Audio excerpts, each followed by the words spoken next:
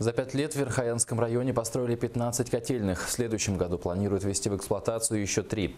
Вместе с тем в районе идет постоянная работа по замене устаревших тепловых сетей в населенных пунктах. А на днях в Верхояне посетил генеральный директор ГУП ЖКХ Виктор Амуков и ознакомился с ситуацией в районе. Подробности далее. Последние месяцы уходящего года для верхоянцев, несмотря на низкую температуру от минус 50 и выше, становится жаркой и горячей порой. Продолжительный ноябрьский снегопад явился главным препятствием ледостоя на Яне. Проблемы, проблемы дорога. Да, в этом году э, снег большой, до сих пор э, толщина льда там 20-30 сантиметров на Яне, вот это будет проблема. Ну, дорожники обещают до э, 10 января, ну, дать там до 20 тонн. За последние пять лет в Верхоянском районе построены 15 новых типовых модульных котельных. На средства ГУП ЖКХ построены и введены в строй, из них всего три котельных.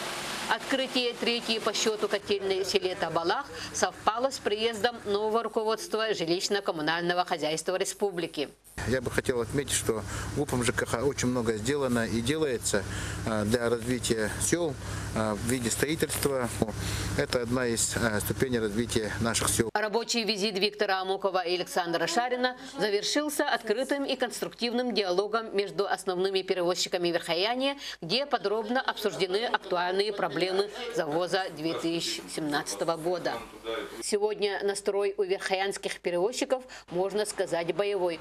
Как только откроется автозимник Батагая Сайды Куйга, более 100 машин выйдут на старт, пока не выполнят задачу, поставленную им правительством республики и руководством района.